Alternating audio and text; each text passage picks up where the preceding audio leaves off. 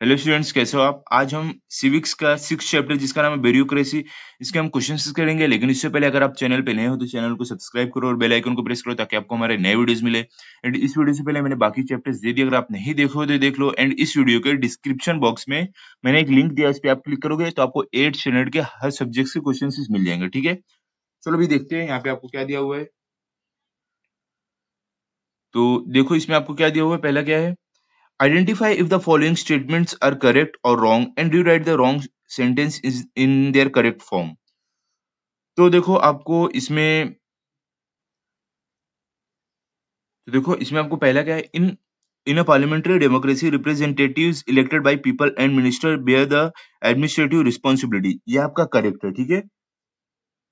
इसमें आपको करेक्ट लिखना है। सेकंड क्या है? Union public services commission UPSC recruits candidates for civil services in Maharashtra ये आपका इनकरेक्ट है। इसका देखो करेक्ट स्टेटमेंट क्या रहेगा? Union public services commission UPSC conduct examination for recruitment and appointment of candidates for all India services and central services ठीक है? ये आपका आंसर रहेगा। आगे देखो सेकंड में आपको क्या दिया है?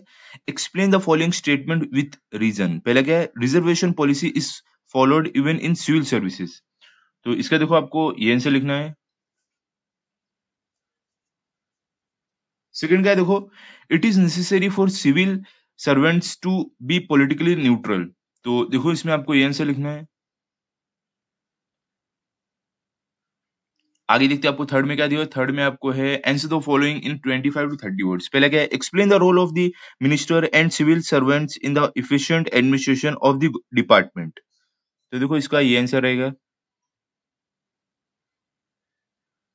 ठीक है सेकंड देखो आपको क्या explain the bureaucracy provides stability sorry explain how the bureaucracy provide stability to the political system तो देखो, इसमें आपको ये आंसर लिखना है। आगे देखो, आपको लास्ट क्या दिया है? लास्ट आपको फोर्थ क्या है? कंप्लीट द कंसेप्ट पिक्चर इसमें देखो types of civil services example union services example block department office officer tehsildar. तो देखो, ये जो आपको ब्लैंक दिया हुआ है सब ब्लैंक्स में आपको ये आंसर लिखना रहेगा।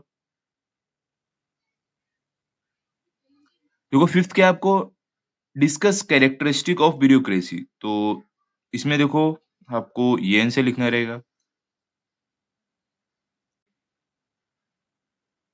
तो यहाँ पे हमारा ये चैप्टर कंप्लीट हो गया है। अभी इसके साथ साथ हमारा जो हिस्ट्री सिविक्स का पोर्शन है, वो भी कंप्लीट हो गया है। मैंने सारे चैप्टर्स दे दिए हैं। अगर आप नहीं देखे हो तो वो सब भी देख लो। बाकी के चैप्टर्स भी, ठीक है? तो अभी मिलते हैं अगले वीडियो में। Thank you